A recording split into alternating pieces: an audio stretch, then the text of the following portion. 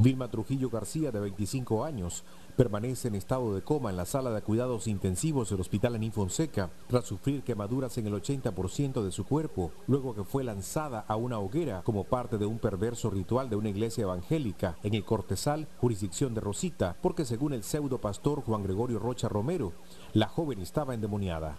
Cuando yo me fui a trabajar, pues ella quedó en la casa. Y ya cuando llegué allá donde él, ya, ya pues ella ya no, no hablamos pues nada con ella. Le iban a liberar, dijeron, porque ella estaba endemoniada. Médicos del hospital en Infonseca le explicaron al afligido esposo que la joven presenta quemaduras en cara, piernas y brazos y la profundidad de las mismas la hacen incompatible con la vida. Sí, me dicen pues que ya está, ya, ya, ya no tiene cura. Y porque dicen que está cocido los pulmones, los, aquí los riñones. Por esa parte pues me siento andar preocupado yo pues porque como yo nunca había salido a esto, esta tragedia. De la psicología no consideramos que existan demonios en un ser humano. Desde la psicología consideramos que cuando se le transfiere a la mujer que tenés un demonio en tu cuerpo, se le está violentando un derecho a pensar y a decidir. Es así que se está ofendiendo la inteligencia de un ser humano, ¿verdad? Porque si vos le decís a alguien que tiene un cuerpo extraño en su cuerpo, pues probablemente se lo va a llegar a creer y vos vas a acceder a que este tipo de personas hagan con vos lo que quieran. Entonces... Que aquí quien necesita un tratamiento psicológico es el pastor.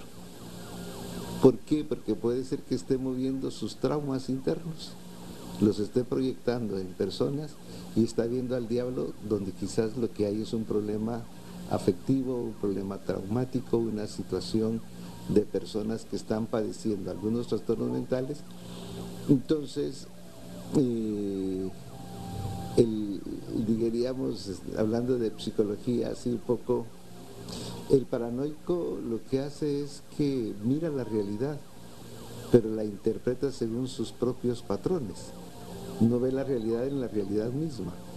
Acción 10 confirmó que el pseudo pastor Juan Gregorio Rocha fue detenido por la policía de Rosita el pasado viernes junto a cuatro personas que participaron en este perverso ritual. Esto es parte de la violencia de género, de la violencia contra las mujeres, esta es una forma más de manifestarse. Eh, este señor es un hombre agresor que tiene que estar en estos momentos ya detenido.